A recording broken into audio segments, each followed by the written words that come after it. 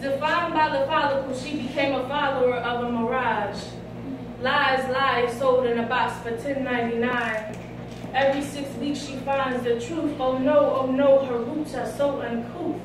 Countless hours are spent in a booth. Yeah, she'll pay so that human hair, Yaki or Remy can stay. She says she wants to look like a white girl today. Never mind the fact that God blessed her with curls, coils, and natural twists. Little did she know her ethnicity. Time unwrapped it slowly until she was old enough to understand.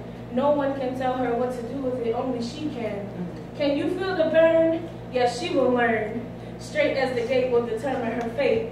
Her self-esteem is wrapped up in the extensions, and when they're taken all away, you'll see what is missing. She has been conditioned to what society depicts as beautiful. Yes, she'll take a shot of the creamy crack. Naturally nappy, no, she'll never mm-hmm. go back. Mm-hmm. Just one hit of sodium hydroxide will have her to lies, lie. Mm. Her hair is relaxed, and so is everyone around her. And when interviewed for the job, straight hair is what businesses and companies prefer. Mm. Nappy look, nappy looks uncapped. Nappy just won't do. Looking like everyone else is the way to go. Forget about being you. Mm. Stop the nonsense. This foolishness has to go. She needs to know how beautiful her natural hair is when it grows. I rock